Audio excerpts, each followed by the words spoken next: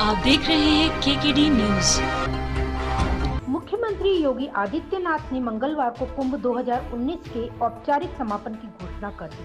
आस्था के इस बड़े मेले की कई सुनहरी स्मृतियाँ हैं, जो इसका हिस्सा बने देश दुनिया के करोड़ों लोगों के जहन में लंबे समय तक बनी रही केंद्र और प्रदेश सरकार के सहयोग से दिव्य और भव्य कुंभ का स्लोगन तो चरितार्थ हुआ ही।